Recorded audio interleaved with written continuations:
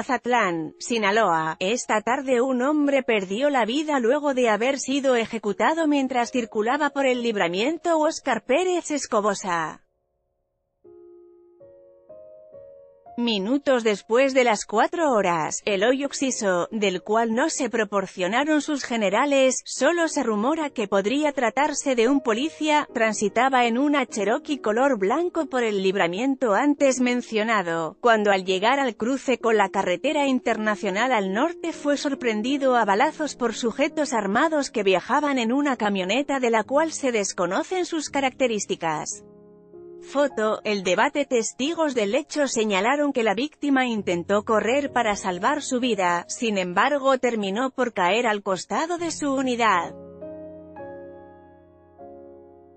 El área fue acordonada. Foto, el debate posteriormente los cuerpos de rescate arribaron a la zona tras haber recibido el reporte del hombre baleado, agentes de la policía municipal, paramédicos y bomberos veteranos, quienes le brindaron los primeros auxilios.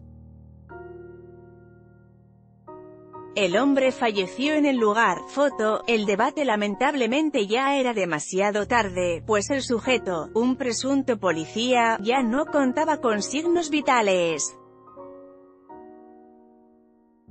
Foto, el debate El área del crimen fue acordonado para que las autoridades correspondientes realizaran las diligencias del levantamiento del cadáver. En esta nota, asesinato hombre vehículo Avenida Pérez Escobosa sujetos armados.